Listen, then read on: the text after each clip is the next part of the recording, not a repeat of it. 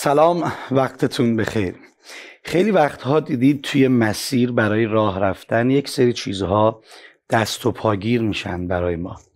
خیلی هم بزرگ نیستند به چشم هم نمیان ولی با همون ریز بودنشون جلوی حرکت ما رو به سمت جلو می‌گیرند.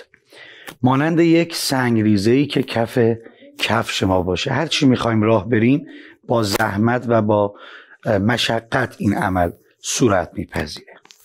بی احترامی کردن به والدین بدخواستن برای دیگران تهمت زدن به مؤمن و آبرو بردن از او کسب و حلال و سر مردم کلاه گذاشتن و عدم درآمد حلال و اموراتی این چنینی خیلی وقتها به چشم نمیاد. حالا من یه دروغی توی کار کاسبین بگم چی میشه؟ مردم دارن می‌برن حالا منم یه گوشش اینها حکم اون سنگریزه هایی رو داره که توی پای تو اجازه نمیده راحت قدم بزنی به جلو. همین چیزهای ریز رو پاک کن. صعود تو و جلو رفتن تو سریعتر خواهد شد. ممنونم. باز هنگام نماز آمده است. موقع راز و نیاز آمده است. گوش کن میشنوی بانگ ازان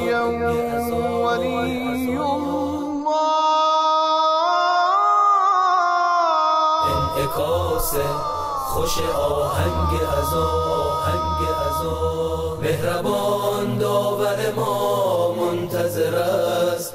مونس و یاور ما منتظر است. بنشینیم لب حوز دعا. بسپاریم دمی دل به خدا.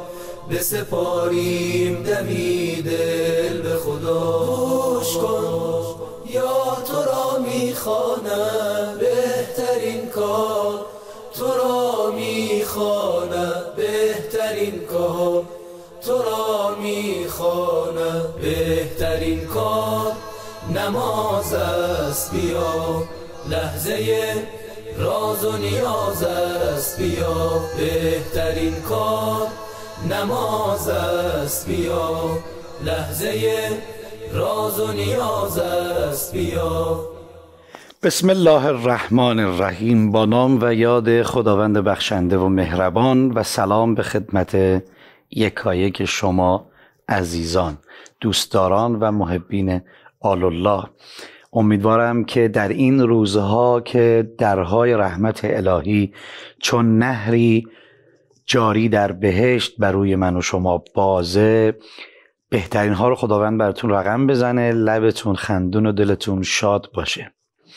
و غمی جز دوری از امام زمان در دل من و شما جای نگیره که هر چه داریم از توفیل این آقای مهربانه. این ایام و اعیاد ماه مبارک رجب رو هم به محضر شما تبریک و تهنیت عرض می‌کنم و امیدوارم که جزء شیعیان مؤمنین و عاشقان خلص این اهل بیتی که خدا براشون مکان و جایگاه و شعن خاصی رو قرار داده باشیم. انشاءالله.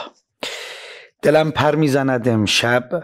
برای حضرت باقر. دلم پر می‌زند امشب برای حضرت باقر که گویم شرحی از وصف سنای حضرت باقر. ندیده دیدی گیتی به علم و دانش و تقوا سلاطین جهان یک سر گدای حضرت باقر. زبان از وصف او الکن قلم از مدح او عاجز که جز حق کس نمی‌داند. بهای حضرت باقر نزاید مادر گیتی ز بهر خدمت مردم. نزاید مادر گیتی ز بهر خدمت مردم به جود و بخشش و لطف و سخای حضرت باقر به ذرات جهان یکسر بود او هادی و رهبر که جان عالمی گردد فدای حضرت باقر. برو کسب فضیلت کن چو مردان خدای ای دل ز بحر دانش بی منتهای حضرت باقر. به تک تک شما و خاصه وجود نازنین امام زمان این ولادت پرخیر و برکت ولادت شکافنده علوم امام باقر رو تبریک و تهنیت عرض کنم و امیدوارم هر کجا هستید سلامت و تندرست باشید.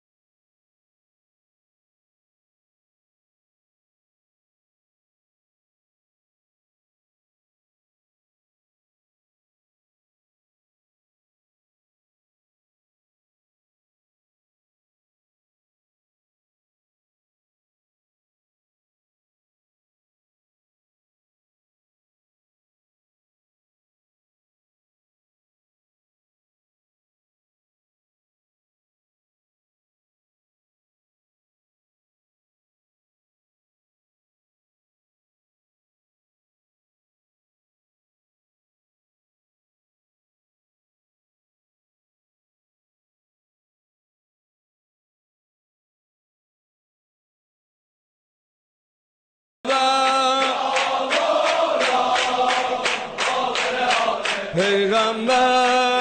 بگو. به شوق به شوق میلاد دل بر امشب دلم از غم آزاده. به شوق میلاد امشب دلم از غم مدینه محو دیداره. پسر امام سجاد. زاده.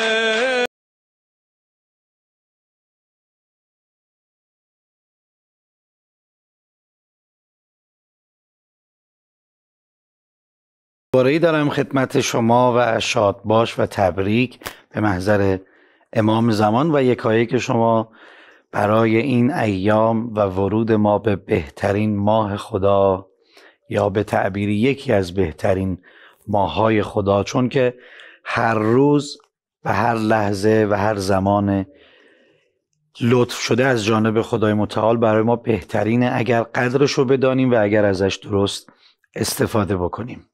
خداوند مهربان رعوف بخشنده و هر کدوم از این صفاتی که برای خدا توی این هیته هست رو در نظر بگیری. بر فرهنگ و اعتقاد ما این گونه است که او برای بندگانش هیچ وقت بد نمی‌خواد و این اصطلاح کاملا غلط بایستی اصلاح بشه. خدا بد نده. خدا هیچ وقت بد نمیده.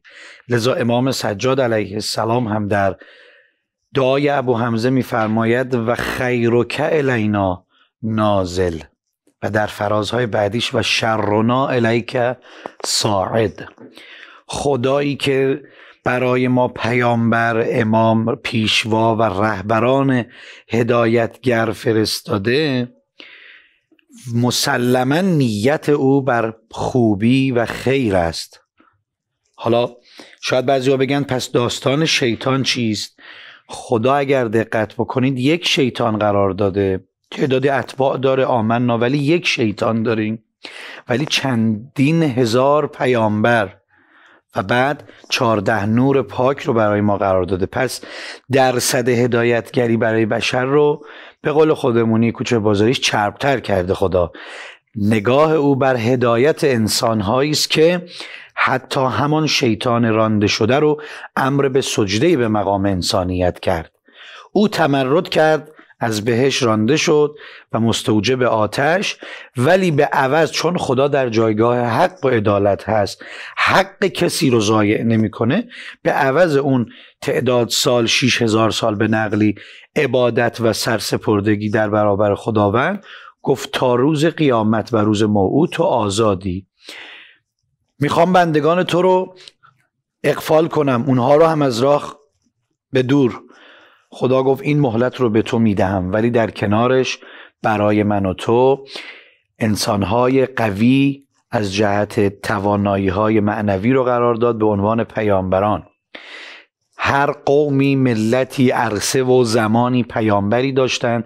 تعدادیشون جهان شمولتر بودند به عنوان اولوالعزم و پیامبر من و شما حضرت محمد صلی الله علیه و آله به عنوان خاتم الانبیا آمد و نهایت دستورات هدایتگری رو آورد.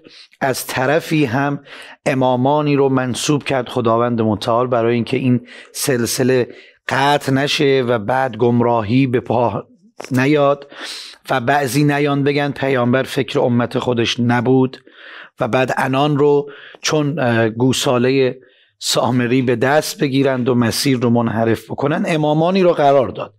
اما مثل بچه ای میمونه که جلوی او سیب سالم و سیب خرابی که حالا یه مقدار رنگ و لعاب خوبی هم داره. قرار بدید. اگر بچه در سنین جهالت باشه و جاهل باشه به قول لفظ عربی چه می‌کنه؟ اون که ظاهر خوبتری رو داره رو انتخاب می‌کنه. هرچند والدینش بگویند که آقا اون سیب بهتره ها اون سالمتره. ولی ظاهره رو میپسنده. امامان ما راه رو برای ما معین کردن. خیلی وقتها به خاطر زواهر و خدعتن دنیا به قرورها و جنایتها. و ما این که گول این دنیای صد رنگ رو می‌خوریم. و ما این که اقفالگر این عروس هزار رنگه میشیم. بنا به کلام امیر المومنین یک قدری کافی دلمون رو به این آقایان عالم بسپاریم. اون وقته که در مسیر سبز و مسیر نور و مسیر روشنایی قرار خواهیم گرفت. بریم برگردیم.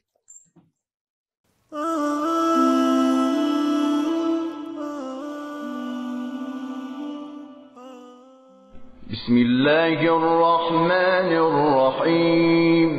وأطيعوا الله ورسوله ولا تنازعوا فتفشلوا وتذهب ريحكم واصبروا.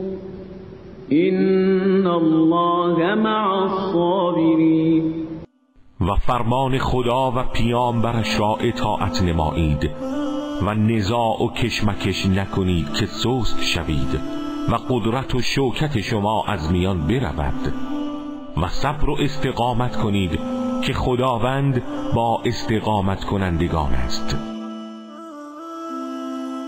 صدق الله العلی العظیم خیلی خوش آمدید. و ممنون داریم که چشمان زیباتون رو به قاب تلویزیون ما و برنامه بربال ملائک میدوزید. خوشحالیم خوشحالیم و خدا رو شاکریم بابت این همه لطف و عنایت. خیلی کوتاه صحبت بکنم. بنا به کنداکتور بریم و با کارشناس محترممون همراه بشیم. الله در آیه ای هم که همکنون برای شما پخش شد و دیدید و گوش کردید و وجودتون معطر شد یک نکته رو بر ما در ابتدای آیه آمده اطیع الله و رسوله. اطاعت کنید از خدا و رسول و پیامبر و فرستاده او. که اگر این چنین شدیم ما جزء کسانی هستیم که انشاءالله این دنیا که یک منزلی است برای عبور رو هم به سلامت عبور خواهیم کرد.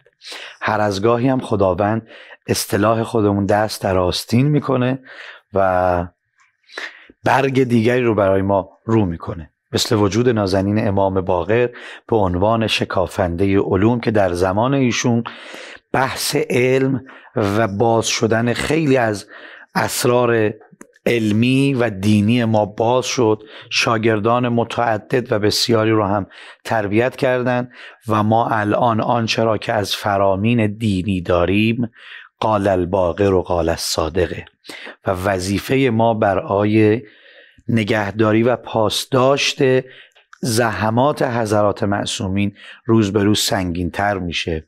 چرا که از اون طرف هم اتباع و پیروان شیاطین و شیاطین صفت فراوان میشن و قرار دزد دل منو شما باشن. یک جمله حرفم تمام. گفت انسان بسیار سریع با یک بدی دنیایی از خوبی رو فراموش می‌کنه. اما خدا برعکسه. با یک خوبی تمام بدی ها رو فراموش می‌کنه. سعی کنیم جز اون دست آدم هایی باشیم که بدی رو بیرون می‌کنیم و خوبی رو دریافت می‌کنیم. ما هم خدا صفت بشیم. خدا این همه خوبی برای ما انجام داده. یه وقت هم گره به کارمون میفته زود فراموشمون نشه. اینها و این حرفها نتیجه اطاعت و تبعیت از رسولش و امامانش خواهد بود. چون ایشان به ما رسم زندگی رو میآموزند. چرا که ایشان به ما رسم بندگی کردن رو میآموزند. ممنونم.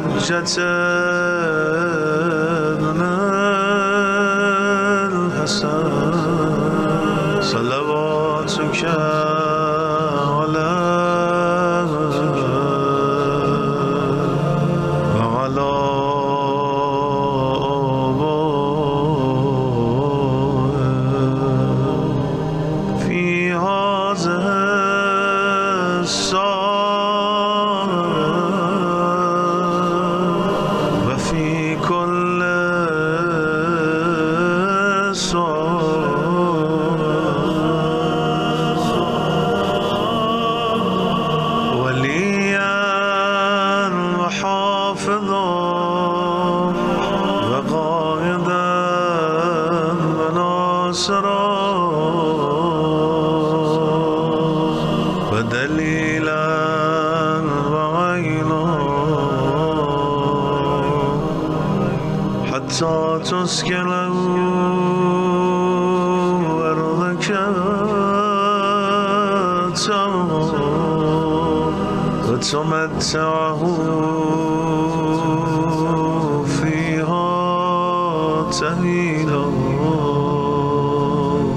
برحمتك يا أرحم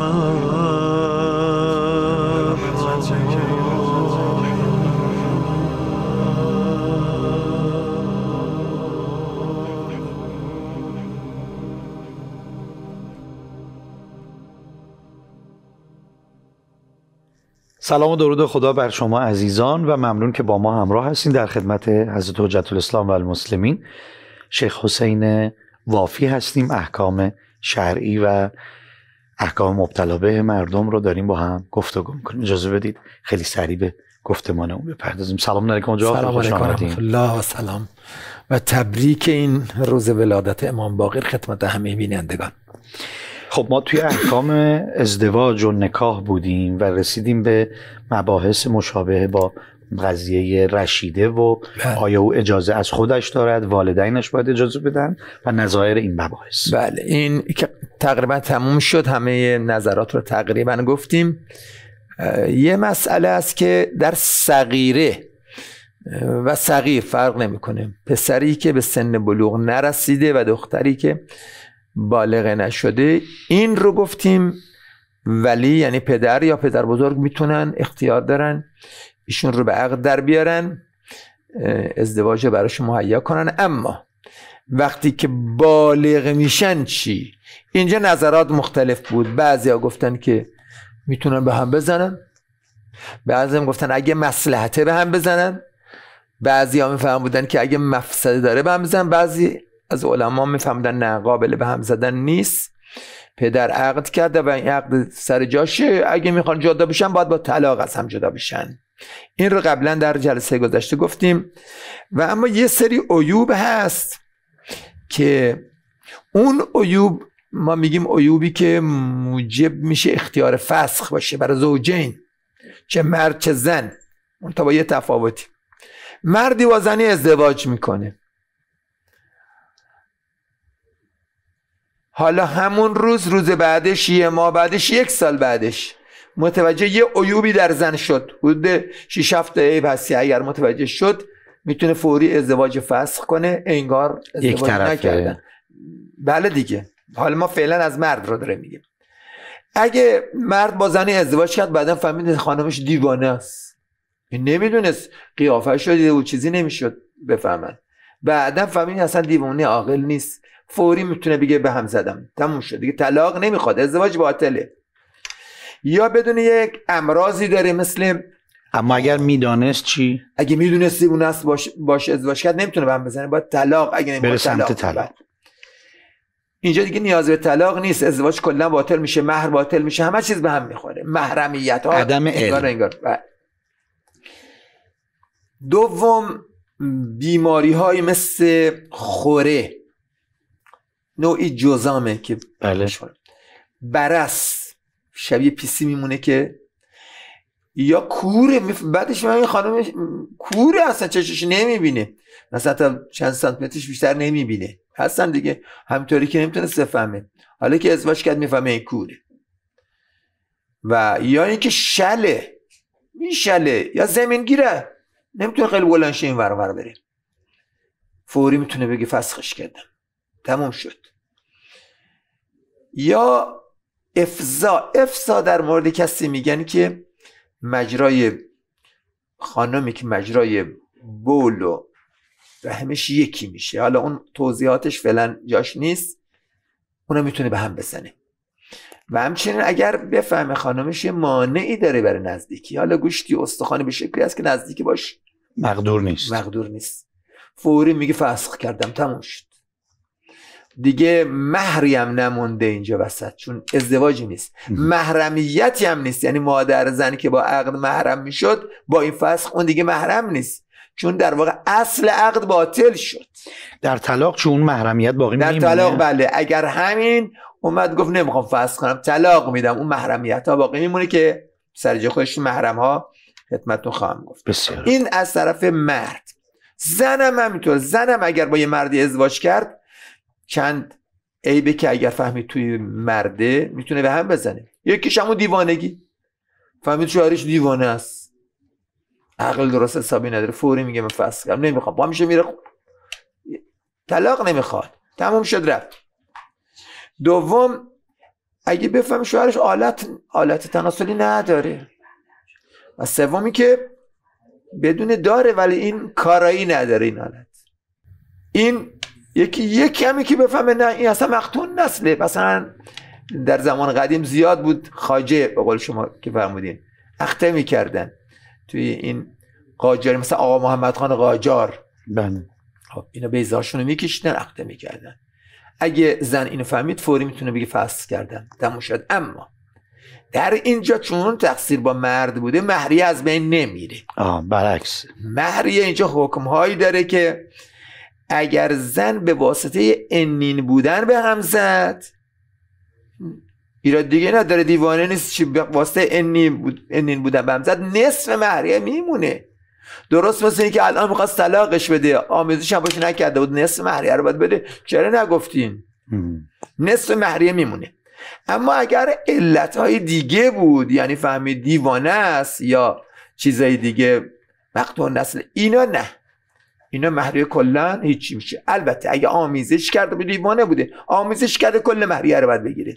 ولی آمیزش نکرده صفر میشه. هیچی. در هر دو مورد هم بر مرد برای آقا هم مرد برای زن هم زن برای نه نه. اینجا در مورد زن وقتی می‌خواد فصل کنه.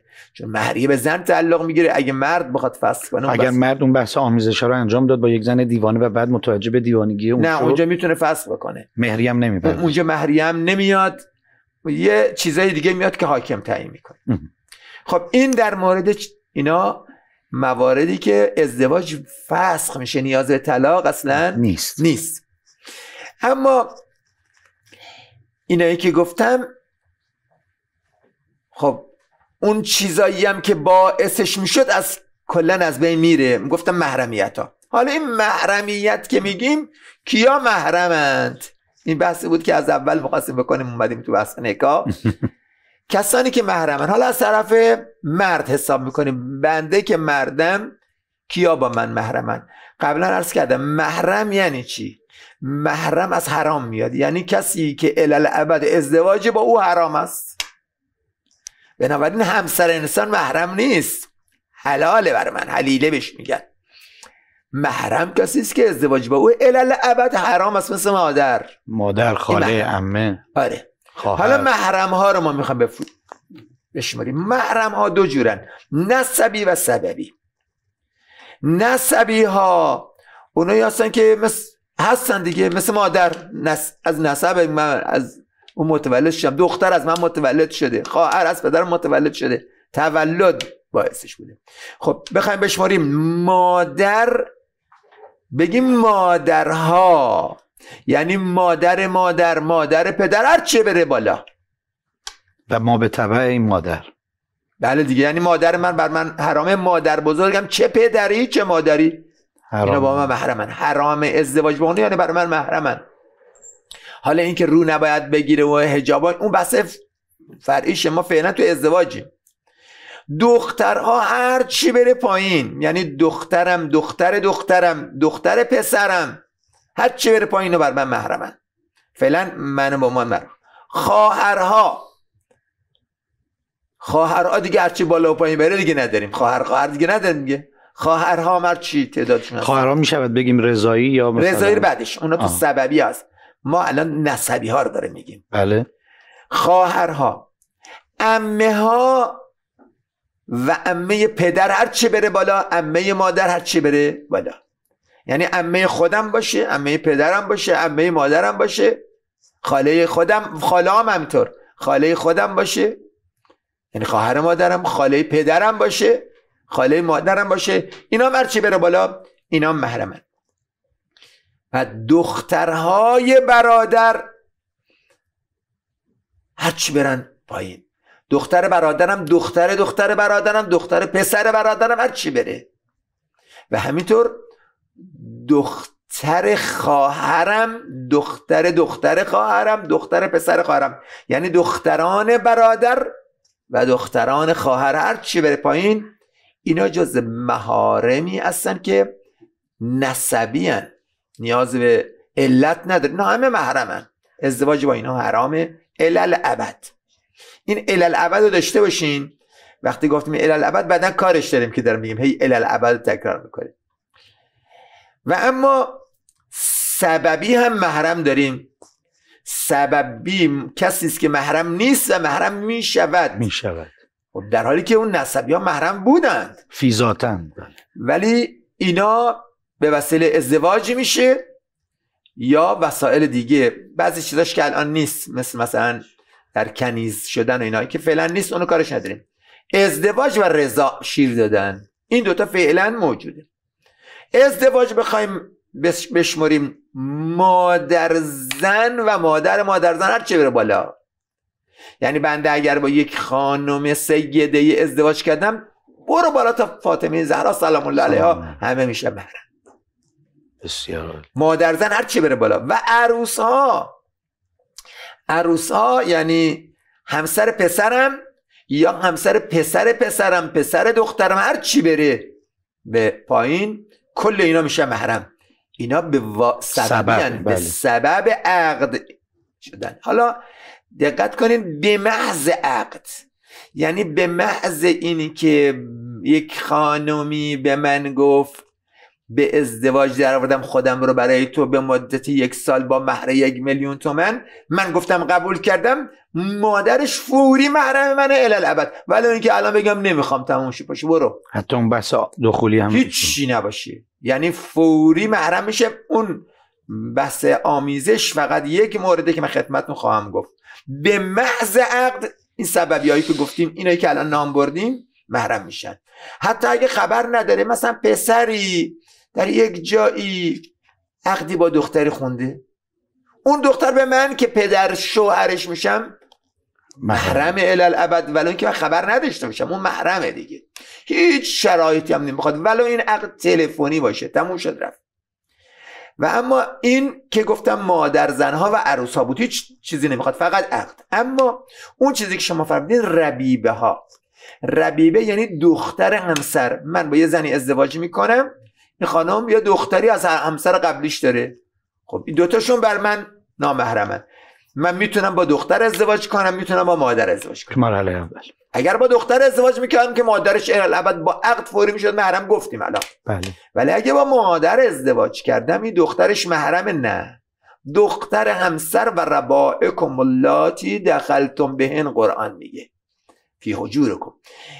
اون دخترانی که با مادرشون آمیزش کردین. این ربیبه ها میشه محرم تا آمیزش نشده نه من با زنی ازدواج کردم نخواستم بدون آمیزش ازش جدا بشم. دخترش می‌تونم باشه ازدواج که هنوز محرم نشده با من. ولی شرط آمیزش تو همه اینا فقط همین یک مورده. اشتباه نشه با جای دیگه. تنها موردی که شرط آمیزشه دختر امسر. این دختر امسر هم لازم بگیم دختر. دختر دختر امسر. دختر پسر امسر هر چه بره پایین اینا رب... ربیبه. حساب میشن و محرمن. یک سبب دیگه هم داریم شیر دادن. رضایی میگیم. رضا. رضایی با عین یعنی بگیم. فرق نمی‌کنه یک بچه ای اگر از خانمی شیر بخوره با شرایطش که بعدا خواهیم گفت حالا الان جاش نیست بگیم هیچ فرق نمی‌کنه که این که شیر خورده با شرایط با اینکه متولد می‌شد از این خانم سر سوزنی تفاوت نمی‌کنه.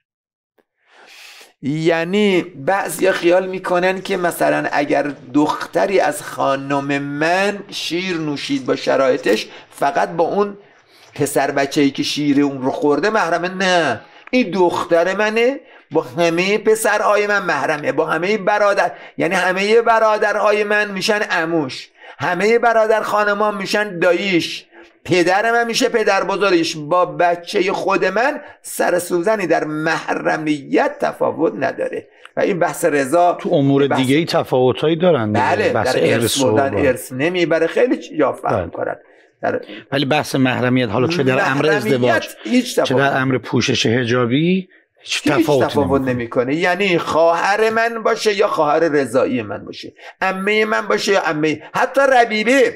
حتی ربیبه رضایی. یعنی من یک با یک زنی ازدواج کردم. با دخترش ربیبه منه. اما یه دختر بچه یه شیر داده. یعنی دختر رضاییشه. اونم ربیبه رضایی منه. اونم با من محرمه. هیچ. تفاوت نمی‌کنه. این یکیش مهمتر. یعنی با تولد کسی که از کسی شیر خورد در محرمیت با, تول... با متولد شدن از اون زن تفاوتی؟ یعنی این خانم در زمانی که در عقد و ازدواج یک مرد دیگری بوده. بله. بچه ای از همسایه رو شیر داده. شیر داده. الان اون شوهر یا فوت کرده یا طلاق گرفته. بله. نفر دومی زوجه ایشون شده و اون امور آموزشی انجام گرفته. الان اون ربیبه هم اون محرم. ربیبه هم محرمه. و ماتبع این مرد. بله. چون هیچ تفاوت نمی‌کنه. اون ربیبه عین دخترش میمونه. گفتیم چون شیر خوردن با تولد در محرمیت هیچ تفاوتی نمی‌کنه. بسیار. ادامه بدم؟ بله ادامه بله. بدید. دقایق دیگه این. رضایاره که گفتم. حالا ببینیم. بسیار پیش میاد. مثلا من با یک زنی ولو تلفنی پنج دقیقه عقد خوندیم. پسر و نوه های من همه با اون زن محرم میشن. فقط به مجرد عقد. مجرد عقد. یعنی تا گفت زن یه کاری داره که نیاز داره با من نامحرم به اون شکل نباشه. خب مثلا می‌خوایم بریم حج. می‌خواد یه کسی همراهش باشه که بله. مسائلش برسه. این میگه که من به عقد شما در اومدم. تمام پسرهای من این زن باباشونه. چه ببینین خوب دقت کنین. چه اون پسر و نواهای من باشند الان موجود؟ چه نه بعدا متولد میشن؟ چه قبلا متولد شده باشن چه بعدا متولد بشن پسر و نواها نوه نوا همه با این خانم میشن. محرم. این شرطم نداره. م- یک نکته دیگه بگم محرم که میگیم الالعبد یعنی چیه؟ یعنی با طلاق و مرگ و اینا محرمیت به هم نمی‌خوره. هیچ کس نیست که محرم من باشه. طلاق پیش اومد نامحرم میشه. ام. و لذا هست که مثلا فرض کنین من با یه زنی مثلا به عقد در اومدیم پنج دقیقه به کار داشتیم خب تموم شد. ولی مادرش الالعبد بر من محرمه. چون محرم یعنی الالعبد بنابراین بعضیا خیال می‌کنن حالا که مثلا اون خانم طلاق دادن مادرش دیگه نامحرم شده نه خیر مادر اون الالعبد فقط مادر. بله. فقط مادر. فرق نمی‌کنه. هر کس مراشون خاله عمه همه اونایی که ببینین همه اونایی که با ازدواج با من محرم شدن با, با طلاق سر جای. خودش محرمیتشون میمونه. با مرگم همینطور. زن من مرد. ولی برعکس من فقط از طرف مرد گفتم ها. حالا از طرف زن اگه بخوام بگین دقیق برعکس میشه. ما اونجا گفتیم مادرها مادر مادر مادر پدر. اینجا میگیم پدرها پدر پدر پدر مادر. الی آخر که اگه لازم. بسیار عالی. خیلی ممنون متشکرم. خدا خیرتون بده. ان بحثش رو باز در برنامه آتی ادامه خواهیم داد. ممنونم از شما. التماس دعا دارم. در این دعوای ما رو فراموش نفرمایید.